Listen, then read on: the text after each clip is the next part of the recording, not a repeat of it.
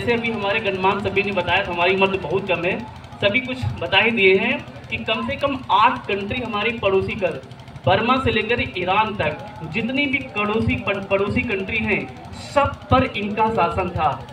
आज हम इंडिया कुछ लोग कहते हैं कि हम आ, आ, पंजाब अलग करेंगे कुछ लोग बात करते हैं पश्चिम बंगाल अलग करेंगे। आज इतना छोटा सा एक क्षेत्रफल वाला इंडिया के टुकड़े होने की बात कर रहे हैं। एक ऐसा विस्तक था जिसके शासन काल में इतना बड़ा एम्पायर तैयार किया गया था। तो एक बार मैं चाहूँगा लोग बहुत तोड़ से एक बार ताली बजाएँगे लोग। समय था। आज हम, हमारी, हम उस राजा की हम शैतान हैं, उस सम्राट की हम संतान है।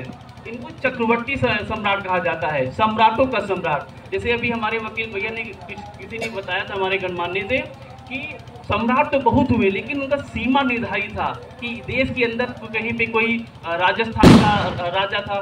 लेकिन इन्होंने कंट्रियों